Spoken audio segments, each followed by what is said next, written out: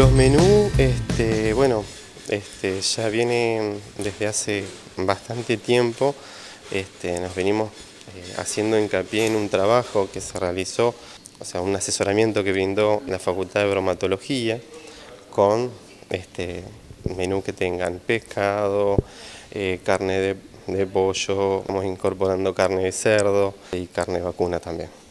Tenemos menús opcionales en el caso que la persona no quiera o no le gusta el menú del día, tiene opcionales como tartas, tarta de choclo, tarta de jamón y queso, este, ensaladas tiene todos los días. Las ensaladas son este, casi 500 gramos de comida, tiene lechuga, tomate, zanahoria, arroz y un huevo duro.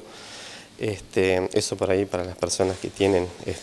quizás inconveniente con una dieta que por ahí puede llevar adelante el resto del, común de la gente, como son las personas celíacas. también tenemos este, lo que es este, dentro del menú, se dejan aparte, se están haciendo aproximadamente unas 6 o 10 este, menú aparte opcionales,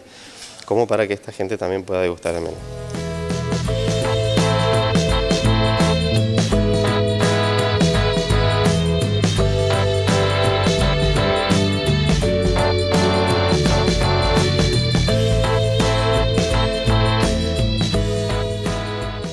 Los chicos que trabajan son, son becarios, tenemos un 50% becarios este, de la unidad académica de eh, bioingeniería, de la Facultad de Ingeniería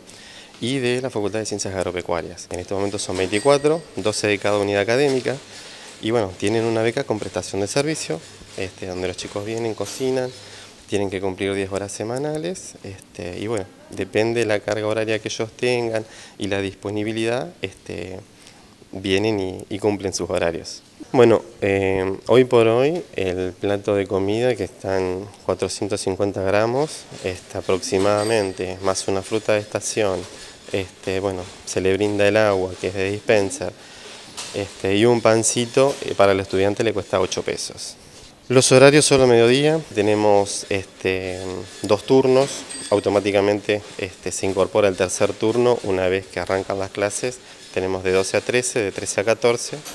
este, y bueno, tenemos un turno de las 14 cuando arrancan las clases.